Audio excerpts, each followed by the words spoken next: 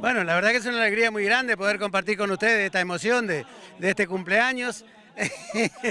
y bueno, eh, simplemente la felicidad de poder ver a, a la gente misionera este, rodeada alrededor de su, de su antigua tradición y celebrando estos 50 años. Recién hablábamos con Pato, tanta gente amiga y tantos artistas consagrados acá al lado tuyo. Claro, mucha gente que, que, bueno, que hemos transitado algunos caminos y los otros que están viniendo. Todo es importante y creo que eso es lo que hace bien a todas nuestra, nuestras manifestaciones, como esta, por ejemplo, que cumple 50 años, pero no deja de poner gente joven en el escenario generación en generación esto sigue corriendo y ojalá que nunca termine. Eso es, no se va a terminar mientras tengamos estos criterios.